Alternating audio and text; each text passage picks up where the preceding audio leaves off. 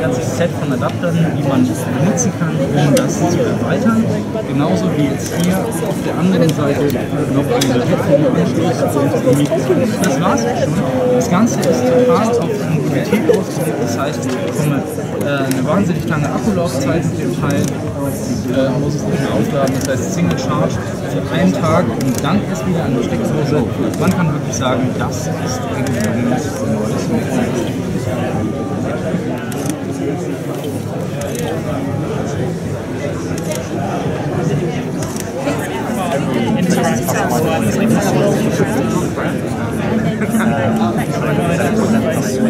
Maybe that's how you feel right now.